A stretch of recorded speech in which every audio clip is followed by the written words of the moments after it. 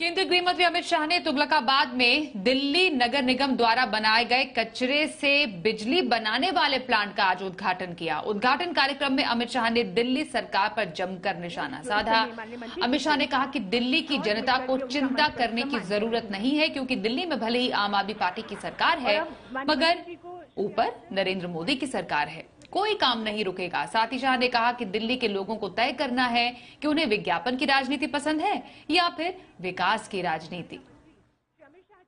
केजरीवाल जी, कई प्रकार के हर रोज प्रेस स्टेटमेंट करते हैं बड़ी बड़ी एडवर्टाइज देते हैं, और उन्होंने ये मान लिया है कि प्रेस के इंटरव्यू से ही विकास होता है। उन्होंने मान लिया है कि एडवर्टाइज देने से देश की जनता भ्रमित हो सकती है।